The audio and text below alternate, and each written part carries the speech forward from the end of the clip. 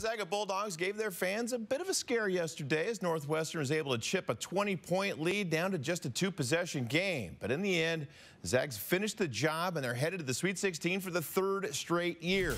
Our Will Sherratt has more with the Bulldogs from Salt Lake City.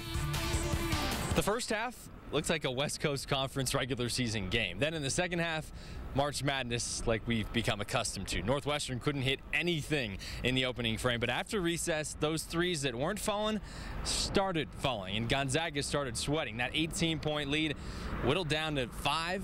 Gonzaga really then had to dig deep, but they dig deep enough as they get back to their third straight Sweet 16. I mean, I'm so happy right now. Uh, just the experiences with my teammates, uh, these guys that we, we, put in so much work all year, and uh, for us to keep dancing, I mean, I love it. It feels good. I mean, being in Sweet 16 three times in a row, I mean, that's a blessing. A lot of people don't even get a chance to play in the tournament, and I just want to embrace the moment and just be thankful that we're here. First, but it's awesome. I mean, if you're still playing at this time of the year, it's it's a good thing. So um, I'm just really happy for our team that um, that was a tough game. I just like I was like in shock after the game for a couple minutes. I didn't know what was going on. I've never been in Sweet 16. I've never been in the second round. So going to Sweet 16 is going to be another level. I mean, my dad told me it's special, so we'll see.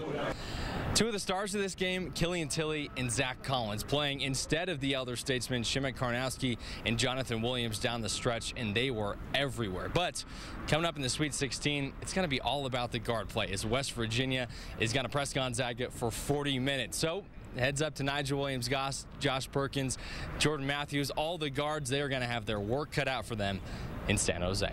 For now, in Salt Lake City, with the Sweet 16 bound Gonzaga Bulldogs, I'm Will Sherratt, KXLY 4 Sports. Thank you, Will. Incredible hair, as always. Coming up next, a trip to the Bay Area and a tough matchup with West Virginia in the Sweet 16. Now, the Mountaineers are going to press Gonzaga all day long, as Will just said. That's something they have not seen all season.